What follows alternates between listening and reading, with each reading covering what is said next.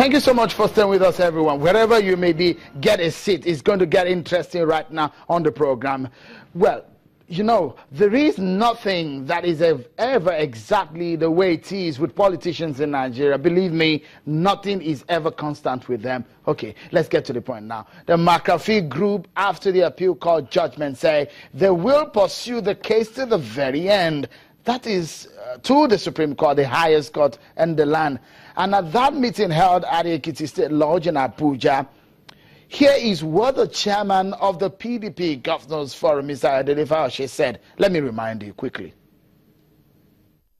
No to Sheriff. It is no to Sheriff. We want to say whether Supreme Court too will not be supreme enough to dispense of this matter ASAP. That is Mr. Ayodele Fayose. On Monday, isn't it? You remember when that meeting could not hold at uh, the International Conference Center, should I say last week? Okay, now, yesterday, and if you look at what happened, uh, that is very clear, isn't it? That uh, they will pursue the case up to the Supreme Court. But when they met the former President Goodluck Jonathan, the stand is perhaps changing now, or is it me that is mistaking the body language? And in fact, in the real language where, uh, well, here, Governor Ayodele Fayose again, yesterday after they met former President Goodluck Jonathan. And this is what they came out with after their meeting with him. We know there are so many matters before the courts, but we believe that a political solution will go a long way to solve this matter. And if we believe in this party, will all be willing and be ready to pursue a political solution, which at the end of the day, every interest will be, will be well represented. Okay, political solution. Maybe we are on the same plate now, I guess, I guess because now uh, it was first uh, the pursuit of this case to the very end to the Supreme Court. Now a consideration of a political solution to the matter.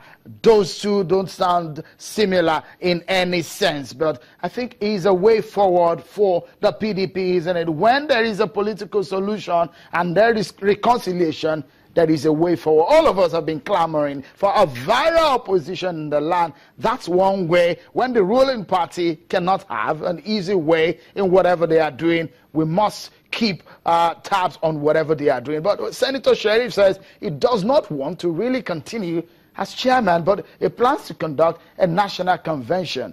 Will the Senator Makarfi side still be pursuing the case at the Supreme Court or the consideration and the newly found language or the political language for the PDP Governors Forum headed by Mr. Ayodele Fayose. Now, the political solution going to be the order of the day.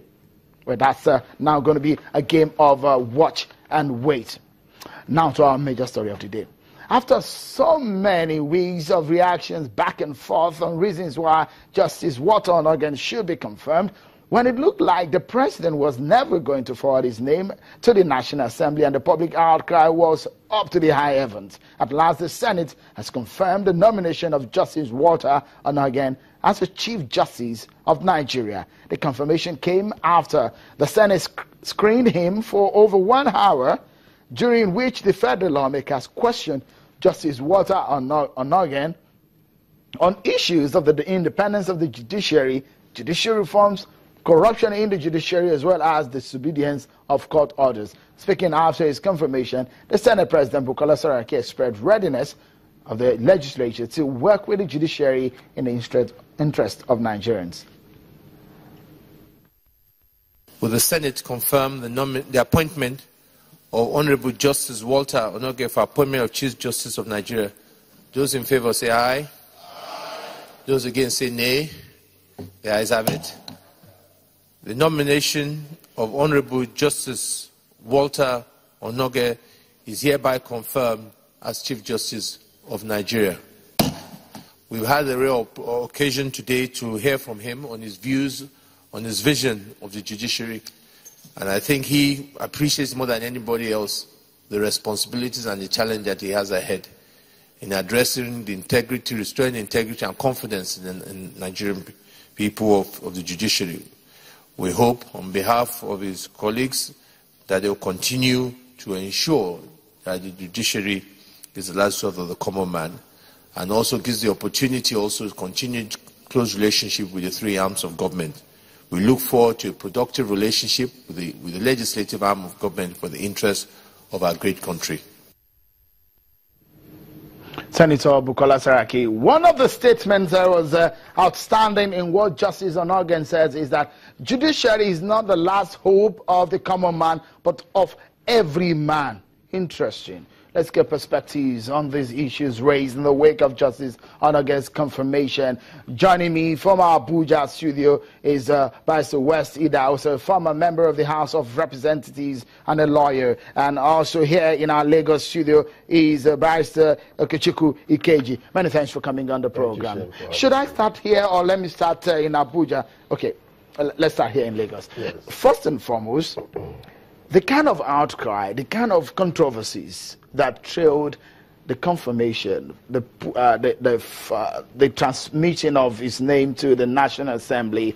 Uh, what kind of atmosphere did he create in the Nigerian judiciary? You work there every day. Yes, it created a sense of, um, if I like, if you like, insecurity, uncertainty, and um, um, a feeling of um, some kind of um, sword hanging on the, on the head of the judiciary, ready to strike at any point in time.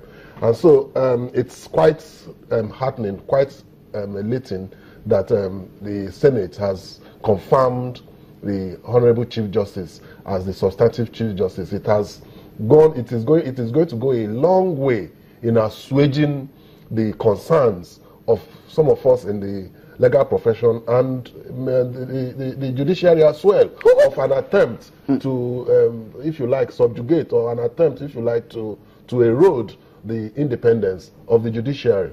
What do you think could have caused the delay in the transmitting of his name in the first place, considering that the acting president himself is a professor of law, yes. uh, is a master of uh, uh, uh evidence uh, in yes, law? So he's, uh, a, he's, a, he's, a, great professional. Yeah. So one will wonder. He knows a lot of this. There might, there should be something, or there must be something that has caused that delay. well, well, um, it is widely said in law that there is no art to find the construction of a man's mind on his face except by what he does. Um, and drawing from that, there is no way we can decipher what would be in the mind of the president of the federation in delaying the um, sending of the name of the chief of um, Justice Onnoghen to the Senate. We can only um, um, react or um, decipher from his actions, and his actions have shown that he didn't want to. Hmm. He didn't want to. So it might just be politics. There's a, a, a, lot of uh, yes. tribal uh, differences, mm -hmm, a lot of mm -hmm. ethnic, it, religion. It, it, it raises, drawn it, yes, it can raise such okay. uh, um, um, um, sentiments. It's natural if it raises such sentiments because okay. if you look at the dynamics, mm -hmm. there has not been a southern chief justice for a long time. and coming from the south south, almost 30 years. Uh, yes, and coming from the south south, having its turn now, mm. that cannot be um, um, thrown overboard. Let, us bring like a that. former lawmaker now into this matter. He was in the Harlow chamber today when uh, it was confirmed. And if you look at the statement of, from Justice Onnoghen, he says the judiciary is not the last hope of, uh, of the common man, but of every man, not of the poor man, but every man. That kind of body language or statement coming from the man who is going to be the most senior uh, or the highest seat in the judiciary in Nigeria, what does that, uh, what, what, statement does he make, uh, Honorable Idahosa? Well, well, I think it's a statement of truism. Um, if you look at it, whether the high, the mighty, the low, uh, we, we all have to run to the judiciary uh, as the intervener uh, and defender uh, of the rights of all of us. So uh, governorship petitions are decided there. Even the presidential contest, in the event that it results in an election petition, will be decided there. So uh, those who have been accused of flouting the laws will also face the judiciary. And uh, I believe that that statement was very correct. It defined correctly uh, the role of the judiciary uh, in Nigeria. And I'm very proud that uh, in the few weeks that Justice Onnoghen has acted as acting Chief Justice of Nigeria, we have seen some momentum and reorganization in, in the judiciary. We hope that uh, if it continues like this, then the question of congestion in courts and delay in Nigerian courts may be addressed frontally. Okay, uh, because uh, we need to take a moment now. But when we return, more on Justice Onnoghen. This man, the issue of corruption in the judiciary. But when we return, also issues of rule of law in Nigeria. What now looks like an unending tensions in the land. We take a look at what issue of uh, Kanu and the concerns of some eminent Nigerians. That's part of the show tonight. Join us again.